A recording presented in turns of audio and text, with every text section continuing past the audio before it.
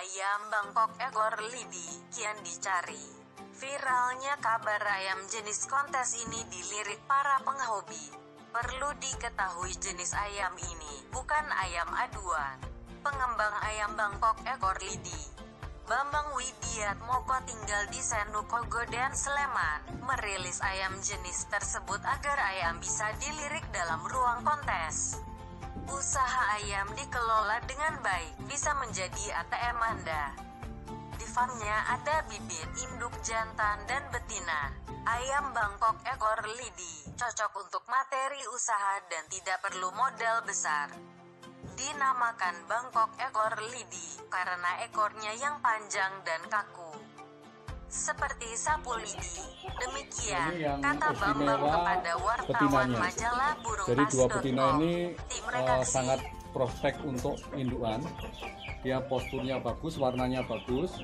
Kemudian eh, kaki sama paruhnya turut ya, bersih ya. Jadi biasanya ay- ayam betina yang seperti ini melahirkan anak-anaknya bersih. Ekornya lebat, panjang, bulunya lebat.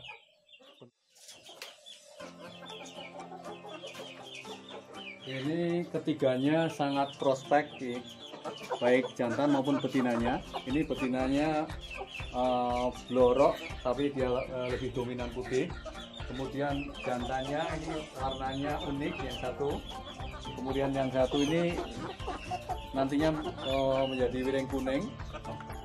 Wiring kuning bersih dan kalau kita lihat dari sekarang ini ekornya sudah kelihatan kaku. Jadi dua-duanya punya ekor kaku. Jadi ini kalau kita mau milih yang berprospek nanti eh, saat dewasanya bagus, ini sudah kelihatan dari umur-umur segini. Dikawinkan atau kalau mau dipakai untuk eh, kontes, nah ini tinggal dirawat supaya eh, ekornya tetap utuh, kemudian kakinya sehat. Nah ini sebenarnya secara fisik sudah eh, tampilannya sudah bagus. Dia punya paruh yang bersih kaki bersih. Tinggal nunggu sampai ekornya nanti maksimal pertumbuhannya. Jadi ini masih eh, kalau orang Jawa bilang bakalan. Kemudian warnanya juga cantik tinggal dibersihkan kemudian bulunya ditata dia akan menjadi sangat indah. Ini bulunya sangat lebat dan ekornya panjang. Kemudian ayamnya sangat jinak. Ini paruhnya garis paruhnya sangat jelas. Kemudian matanya bersih warna paruhnya jer- eh, jernih kuning. Kakinya juga rapi sekali. Sisik kakinya rapi. Dari paruhnya jelas warnanya jernih. Ekornya sangat panjang. Bulunya sangat lebat